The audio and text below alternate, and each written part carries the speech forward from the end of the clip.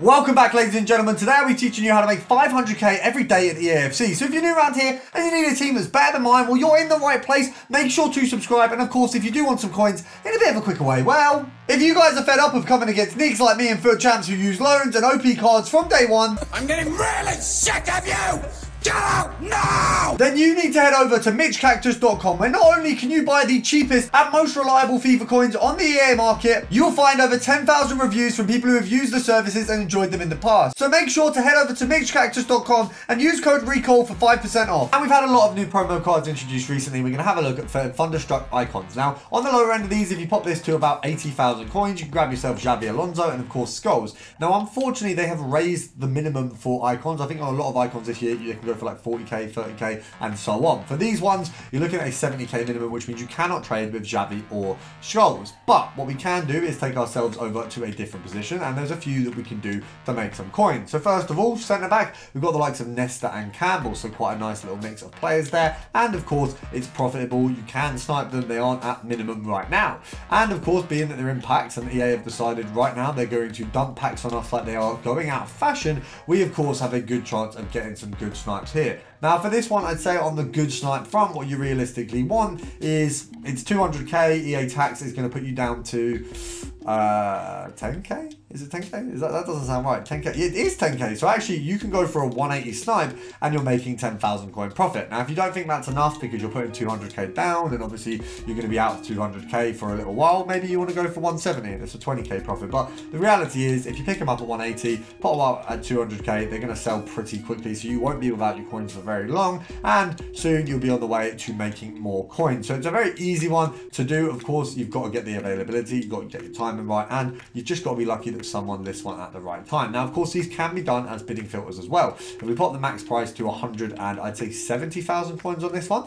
you can go and bid yourself up these players. So you can see a lot of these obviously aren't near where you'd want them to be for the bid. So maybe we want to knock this up a little bit, see if we can find one that is more to our liking. That one here does look like maybe it would be one that's worth having a go on. So we're going to pop that up. I'm going to straight pop that to 150 so that it's closer to the mark. We'll go 160 and what I will do is I'll monitor it and if I do get the card of course I'll show it in a video tomorrow. Now don't worry if you don't have the coins to be doing these filters because we are going to go for some lower end stuff as well but we've also got the goalkeeper side of things for Thunderstruck. So we got Casillas and I think I want to say Van der Sar but let's just check my facts before yet, Van der Sar and Casillas. So bit of a, a, difference in the pricing of these two boys. Quite a heavy pricing on Van der Sar. Um, you're looking around 600k with Casillas being more around that kind of 200k mark. Of course, if you do get a Van der Sar on this one, you are absolutely laughing. You're going to need about the same amount of coins for this one as you did the original. It is a shame that, of course, Casillas is valued and Xabi Alonso isn't because if Xabi Alonso was, we could do a fit with them both in it.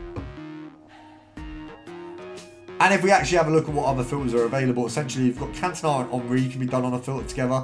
Obviously that's going to be a difficult one as well. You can do centre forwards. Obviously it's going to be ridiculous with Cruyff and Puskas. Essentially they have done their best to not really allow you to have filters. You've got Brazilian as well. You know, it, there's not many options where they're really giving you a chance at getting a snipe. But with the goalkeeper and centre backs, we've got a little bit uh, of leeway where we can make some profit. So this one, 218, we're going to want I think it's once again about about 200k. So you're going to make just under 20k on this one if you do grab one at 200k. Once again, not really that unreasonable to say 20k under the market value. Of course, I'm sniping at 9, so it's not really like the, the snipes are going to come as much right now. Get this at 6 o'clock during a lightning round, whatever it may be, you're going to be making an absolute cake in off of the cards that you pick up. Now we're going to head over to, of course, the regular Thunderstruck cards, and we do have some much lower budget filters. If we go over to Brazil, just a general Brazil filter, as you can see, we're going to have the likes of Gabby Jesus, we're going to have Bremer, and we're going to have the scumbag Joelinton. And of course, I'm always disappointed to see a Newcastle player in a promo. But if we have a look here, I mean, firstly, how Gabriel Jesus is under 200k is insane. I'm probably going to be picking that up for my squad because I can imagine that card to be beautiful. But nonetheless, we've got 40k 30k-ish for uh, Thunderstruck, Joelinton, and of course Bremer. So nice little filter, brings them both in, and 30k really on the low end of things. These are where you get your Oh, that would have been a beautiful snipe. 35k, I think he goes for. We have a look on the market, 36k. We've not got many at 36. EA tax at 36 is going to be I want to check that that's right because that feels wrong. Okay, maybe it's not. So 36 is pretty much his price. EA tax on 36 is 10% is 3.6 half, so it would be 1.8. I think 1.8. So if we go down here, that is profit. So actually that one at 31 would have been about 3k profit. This here is about 1.2. So actually there's quite a good berth of profit. We've already missed the snipe that would have been very good. So I think that shows that there is the availability on these cards. It's a shame that obviously, you know, we didn't get the snipe on the first one. I kind of, it's one of them things I always try not to snipe when you're looking for the card because it is likely that you're going to make a mistake and you're going to get a card that you do not want. In this scenario, we made a mistake and got a card we did not, well, sorry, we made a mistake and didn't get a card we wanted. But, you know, it, it's what happens. If you're going to trade on FIFA, you're going to miss a card here and there. But we're, of course, going to bounce back and go grab another. So we're looking for 33 as a minimum. So if we see a 3 on there, that's what we want. You can see a couple coming up at 34. 34 750 there. We just want that 33 you can see a lot of this card being packed so it's a good filter to be on. I've, oh that's hard oh, missed it. Of course I missed it. I'm not gonna lie, that was terrible sniping. Um, we'll go 33 500. We'll just pray that one comes up. If one comes up at 33 500, I'll compare off it. And if one comes up at 33, we'll buy it because I'm not getting 500 coins profit at 33.5k. You know that, that's just silly. We want to get at least a k profit, but we've missed 4k of profit, 5k of profit already. So we're a little bit in the mud because I'm an idiot. Oh, we might have got one. We got a 33 250, which you know what I can actually take because 36 we can definitely push a 36 to 36 250. Nice little profit there. I'm not going to complain. We wanted better, but it's a win. Can do, which does include the Bremer card as well, is going to be Serie A. Um, you've got Cuadrado in there, which I was surprised to see. I didn't actually know he was out. I suppose he's probably in the mini release. Um, but you've also got the likes of Lukaku. So obviously Lukaku, Cuadrado, Bremer, all available in this one. Lukaku actually has mudded me a few times in Champions uh, for Champs. So, I mean, he could actually be really good in game. 20k, um, it's worth a try, I think, realistically. You're looking at 22, 22, 22, 22.